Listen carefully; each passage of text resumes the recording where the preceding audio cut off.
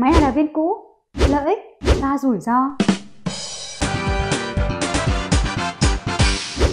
Máy làm đá viên đang ngày càng trở nên thông dụng hơn, không chỉ với các cơ sở sản xuất kinh doanh nước đá, mà ngay cả các nhà hàng, khách sạn, quán ăn, các khu vui chơi giải trí cũng có xu hướng mua để sử dụng. Và rất nhiều người đang băn khoăn là mình nên mua máy làm đá viên cũ hay là mới. Bởi vì không phải tất cả đều có dư giả về tài chính để có thể mua một chiếc máy làm đá viên mới.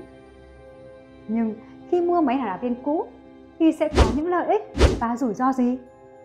Hãy xem hết video này để biết câu trả lời nhé! Lợi ích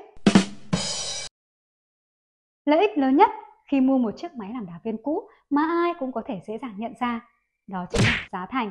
Giá của một chiếc máy làm đá viên cũ chỉ bằng 1 phần 2, thậm chí là 2 phần 3 máy làm đá viên mới. Đi cùng với những lợi ích hấp dẫn kể trên, thì khi mua máy làm đá viên cũ cũng sẽ mang đến cho bạn những rủi ro nhất định. Rủi ro Thứ nhất, những chiếc máy làm đá viên cũ không thể đẹp bằng những chiếc máy làm đá viên mới. Thứ hai, khi sử dụng những chiếc máy làm viên cũ thì không tránh khỏi sự hao mòn.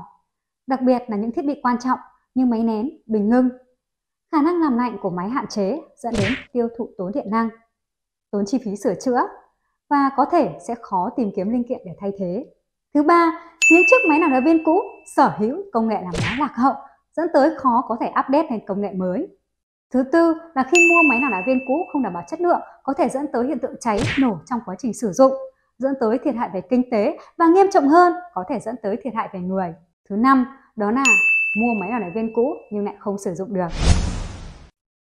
Để hạn chế những rủi ro kể trên, nếu như các bạn có nhu cầu mua máy làm đá viên cũ thì hãy đến trực tiếp các đơn vị sản xuất máy làm đá viên có uy tín trên thị trường để mua. Bởi vì hiện nay trên thị trường có rất nhiều đơn vị đang tiến hành thu mua lại máy làm đá viên cũ của các thương hiệu có uy tín về trùng tu, sơn sửa lại, làm giả, làm nhái. Những chiếc máy này đã hết hạn sử dụng và không đảm bảo chất lượng. Và bây giờ xin mời các bạn hãy cùng lắng nghe một câu chuyện có thật về việc mua máy làm đá viên cũ trôi nổi trên thị trường và nhận lại một cái kết đáng buồn.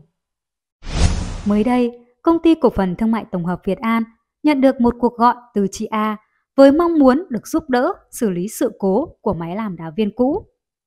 Qua việc khảo sát thực tế, nắm bắt tình hình, Việt An xác định chị A đã mua phải máy làm đá viên cũ giả thương hiệu Việt An. Chiếc máy này được chị A mua lại từ một đơn vị sửa chữa không có uy tín trên thị trường. Chỉ khi đi vào hoạt động thực tế, chị A mới phát hiện ra điều này.